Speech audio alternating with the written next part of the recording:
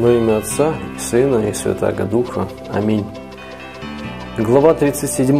Невидимой брани преподобного Никодима Святогорца. Какие расположения требуются для успеха в стяжании добродетелей вообще и как вести дело на выкновение в одной какой.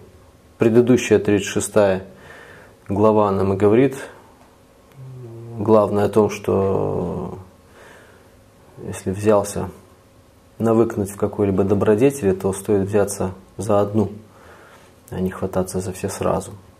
И все потихоньку Господь будет управлять.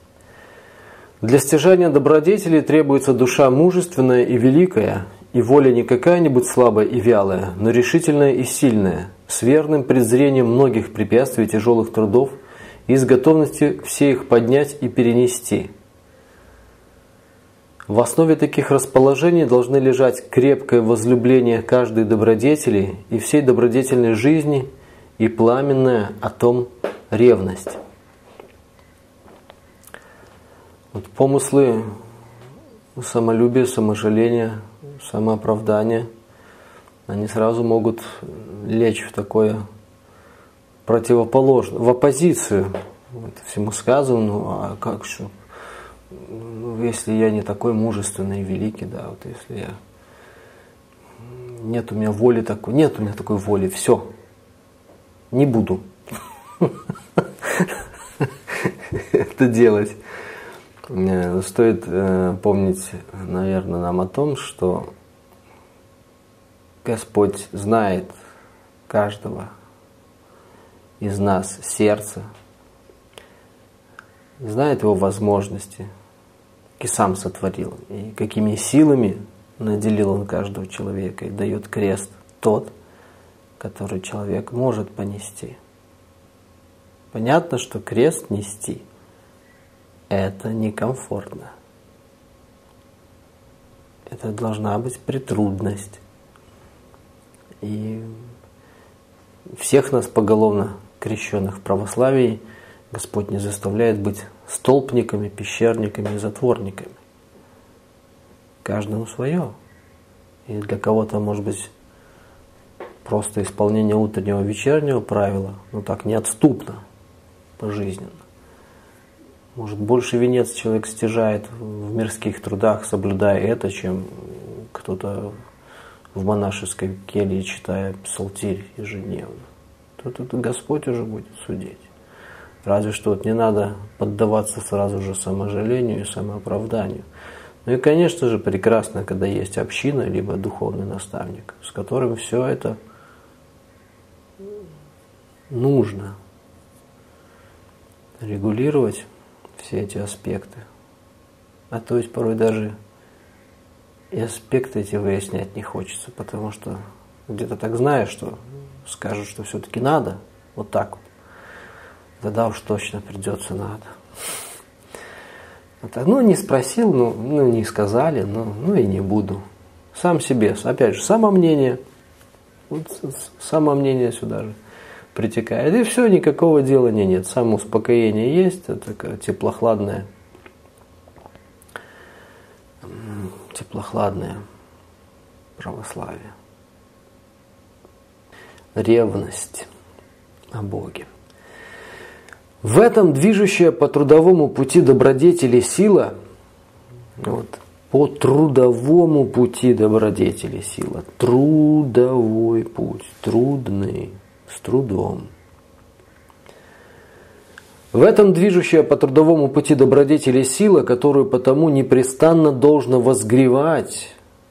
Возгревать ее надо еще непрестанно. Вот. Не пропускать утренние вечерние правила, не пропускать хотя бы раз в неделю исповедь причастия, да? Ведь тухнет человек. Тухнет, и огонь сердечный тухнет, и от этого и сам человек потом уже тухнет, и душок уже идет не тот из нашего сердца. Возгревать, чтобы не ослабело и не истощилось, так как при этом неизбежно прекратится и само движение. Итак, не ленись, возгревать свою ревность о добродетели, с сердечным участием размышляя, как благоугодна Богу добродетельная жизнь, как прекрасна и высока добродетель сама по себе, и как для нас она необходима и благотворна, ибо в ней начало и конец истинного нашего совершенства и преуспеяния в нем. Но этот момент вот с сердечным участием размышляя,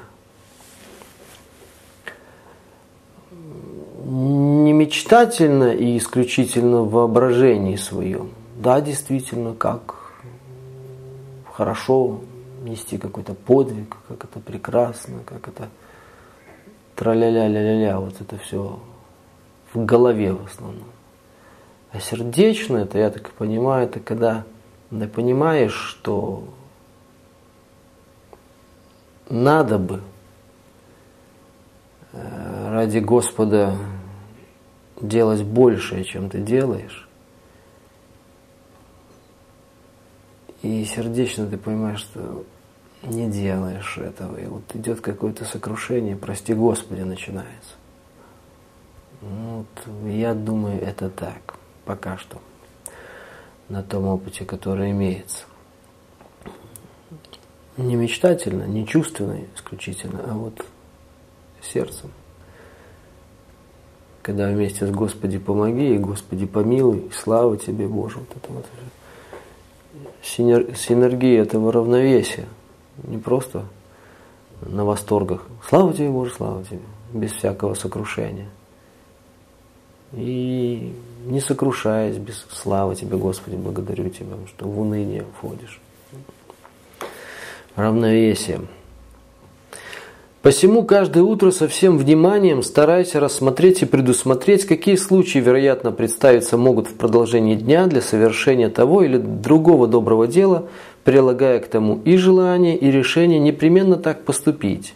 А вечером поиспытай себя, исполнены ли и как исполнены утренние твои добрые помышления и желания.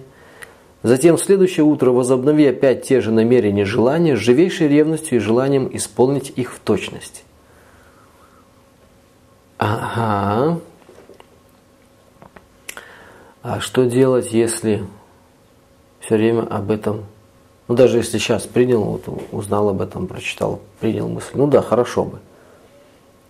А что делать, если э, с утра проснулся и сразу же полетел в мыслях, э, в помыслах, без вот без навыка отсечения помыслов и попытки э, выключить мозг на какое-то время, чтобы просто э, сердце свое посмотреть, помолиться в тишине. Без попытки постоянного отсечения помыслов, которые нам посылаются лукавым, без, попущено лукавым духом злобы, затмевать опьянять наше сердце, наше сознание постоянным течением помыслов, желаний, чувств, чтобы мы отвлеклись вообще от Бога, это вообще какой-то попытки делать это. И вот э, постоянство в утренней и вечерней молитве, оно хотя бы поначалу приводит к тому, что ты, ну, даже если закрепился в чтении этих молитв, то со временем понимаешь, что ты вот, ну, вот, вот, вот на устах вот это чтение происходит, а внутреннего какого-то нету стыковки сердца. Вот. А это уже можно вынести на исповедь вообще. Если это сокрушает, вот это если сердечно поразмышлять об этом, если мешает ли тебе это, или ты думаешь, что это достаточно. Вот, э, произнесение вслух – молитвы, это достаточно твоего служения Господу? Или, может быть, должна быть еще какая-то попытка сделать что-то больше? Тяготит ли это тебя вообще? Мешает ли это тебе? Но если нет, на нет и суда нет. А если да, то не надо отчаиваться, надо терпеть, когда Господь будет подавать эти моменты тишины, успокоения. Но это, опять же, в предыдущих главах много говорится, что вот это делание отсечения помыслов, э, искание вот этого «мир даю вам», сказал Господь. Мир, спокойствие, тишина посреди бури, спокойствие в этой лодке, посреди жизненной бури. И тогда вот э, навыкнув вот хотя бы порой ловить эти состояния, тогда, возможно, и начинается вот это каждое утро со вниманием, старайся посмотреть, а что бы мне такого сделать, а вечером, не забыв об этом, со вниманием, если Господь даст что это внимание. Вот это не только такое самодеяние, но это и Господи помоги надо обязательно. Господи, дай этого внимания. Ну, толците и отворится вам, да, Господь сказал.